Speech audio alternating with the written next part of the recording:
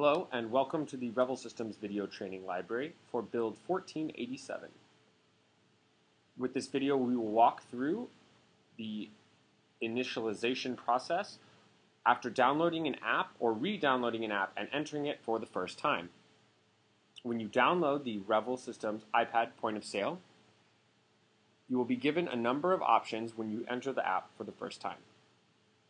If you are an existing Revel customer, select the first option, and the mobile device management that has been initialized by Revel will automatically download all the necessary information and configurations for your iPad.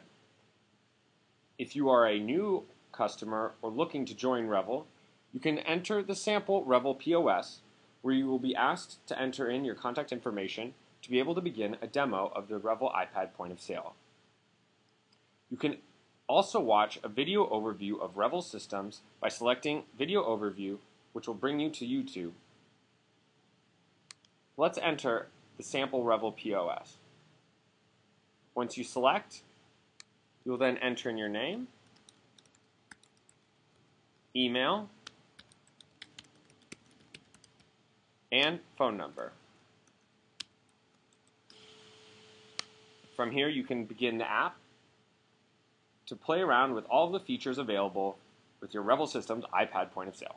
Thanks for watching as always. If you should have any other questions, please don't hesitate to contact us.